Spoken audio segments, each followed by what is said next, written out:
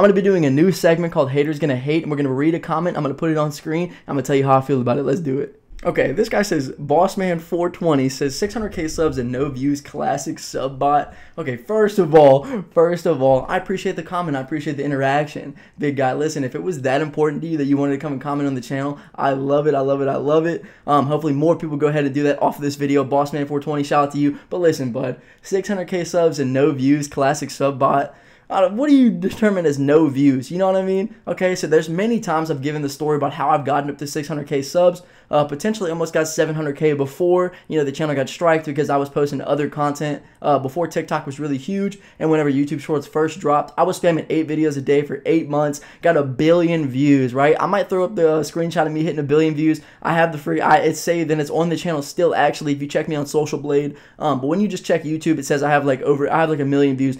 Uh, anyways, though, come on, listen, and I think I commented back to him. I, you know, I never want to hate back because it doesn't really matter that much to me because I've given my explanation so many times. Um, but listen, just the interaction is so cool. Maybe maybe the, these videos are gonna bait out a couple more comments. And listen, if you guys wanna if you guys wanna type something so we can give our feedback on it, that's kind of funny. I would 100% understand how somebody would tell me that the videos are like the videos don't get views or that the channel is sub botted. It makes sense right? Like whenever you go back and look at the analytics, or if you just like scroll through some videos, you're like, uh, 600k, but this guy has no views. Like, dude, you know how many channels? Are, all right, first of all, there's no way that I could have bought this channel, right? With the traction that I have on it, billion views. I have screenshots of all the old videos with over 50 million. I had a video with 200 million views. Uh, regardless of the fact that it wasn't my content, dude, the channel. If I would have bought this channel it would have costed me so much money. And where are people buying channels? You know what I mean? Like that's not something that just happens like around the world. You know what I mean? Like you, if you right now trying to go and buy a channel, you're not gonna find one, dude. You're just not gonna find one because nobody's selling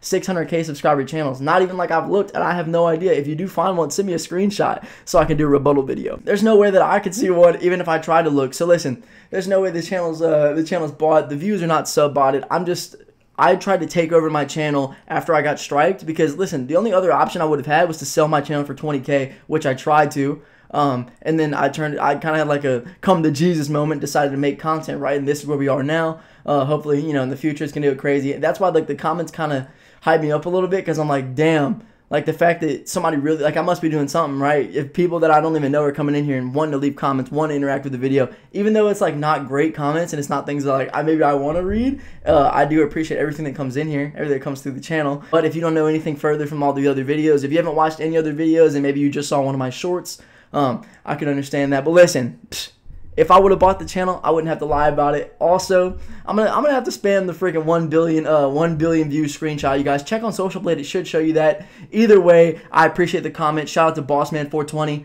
I hope you have a great day, but Guys, check out the podcast, Roger That Podcast on YouTube. Instagram, actually on YouTube it's Mathew Rogers, but on Instagram it's Roger That Podcast. On TikTok it is Mathew Rogers, or I might have changed that on TikTok too. You guys go and check it out. Leave a like, comment down below, subscribe, and I'm gonna catch you in the next stream.